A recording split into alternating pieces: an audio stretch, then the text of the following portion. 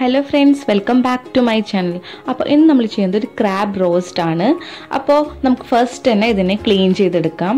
അപ്പോൾ ഇത് ക്ലീൻ ചെയ്യാൻ വേണ്ടി പൈപ്പ് ഓൺ ചെയ്തിട്ടുണ്ട്. ജസ്റ്റ് ഒന്ന് കഴുകി എടുക്കുകയാണ് കേട്ടോ.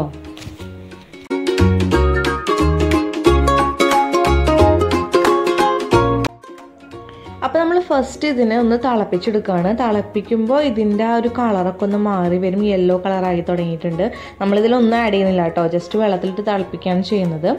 അപ്പോൾ അതിനുശേഷം നമുക്ക് ഇതിന്റെ ഷെല്ല് ഭാഗമെല്ലാം ഒന്ന് കട്ട് ചെയ്ത് കളയാം. അപ്പോൾ നമുക്ക് ആവശ്യമുള്ള ഭാഗം മാത്രമായിട്ട് ക്ലീൻ ചെയ്ത് കറിക്ക് ആവശ്യമുള്ള ഭാഗം മാത്രം നമ്മൾ എടുക്കുകയാണ്.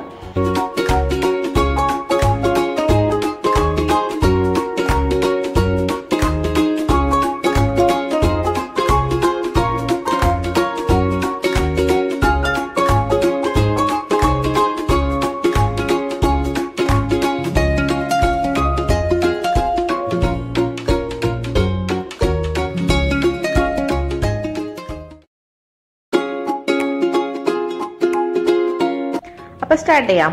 ഒരു പാൻ ചൂടാക്കാൻ വെച്ചിട്ടുണ്ട്. അതിലേക്ക് ഓയിൽ ഒഴിച്ചു. ഓയിൽ ഒന്ന് ചൂടായി വരുമ്പോൾ ഇഞ്ചി നീളത്തിലരിഞ്ഞത് അതുപോലെ വെളുത്തുള്ളി. ഇത് രണ്ടും ഒന്ന് മൂത്ത് വരുന്നത് വരെ വെയിറ്റ് ചെയ്യാം. അത് മൂത്ത് വരുമ്പോൾ നമുക്ക് അതിലേക്ക് പച്ചമുളക് നീളത്തിൽ അരിഞ്ഞു വെച്ചിട്ടുള്ള പച്ചമുളകും കൂടി ഇട്ട് കൊടുത്ത് ഒന്ന് മൂക്കുന്നത് വരെ വെയിറ്റ് ചെയ്യുക അതിനുശേഷം അതിലേക്ക് സവാള ഇട്ട് കൊടുക്കാം. നമ്മളിവിടെ സബോള നന്നായി കളറ് മാറുന്നത് വരെ വെയിറ്റ് ചെയ്യുന്നൊന്നുമില്ല.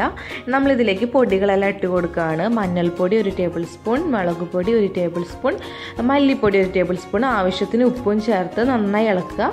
പിന്നെ ഇതിലേക്ക് തക്കാളി നീളത്തിൽ അരിഞ്ഞു വെച്ചിട്ടുള്ള തക്കാളിയും കറിവേപ്പിലയും ഇട്ട് കൊടുത്ത് ഒന്ന് ഇളക്കി കൊടുത്തുകൊണ്ടിരിക്കുക കേട്ടോ.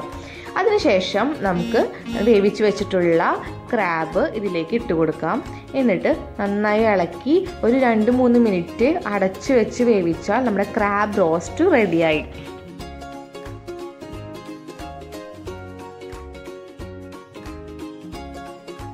ഗരം മസാല ഞാൻ ഇവിടെ അര ടേബിൾ സ്പൂണാണ് ഇട്ടിരിക്കുന്നത്. അത് നിങ്ങൾക്ക് ഒരു ടേബിൾ സ്പൂൺ ഇടണമെങ്കിൽ ഇടാം. ഒരു കുത്ത് താല്പര്യമില്ലാത്തവർക്ക് അര ടേബിൾ സ്പൂൺ ആയാലും മതി. അപ്പോൾ നമ്മുടെ ക്രാബ് റോസ്റ്റ് റെഡി ആയിട്ടുണ്ട്. സിമ്പിളാണ് ഉണ്ടാക്കാൻ. ജസ്റ്റ് അതൊന്ന് വേവിച്ചെടുത്ത് അത് കട്ട് ചെയ്ത് ക്ലീൻ ചെയ്ത് കിട്ടുന്ന ഒരു പാടേ ഉള്ളൂ. അത് കഴിഞ്ഞ് കഴിഞ്ഞാൽ സിമ്പിളാണ് ഉണ്ടാക്കാൻ. അപ്പോൾ അതെല്ലാവരും ട്രൈ ചെയ്യുക. അപ്പോൾ ക്രാബ് കിട്ടുമ്പോൾ ഇങ്ങനെ തന്നെ ട്രൈ ചെയ്ത് നോക്കുക കേട്ടോ. താങ്ക്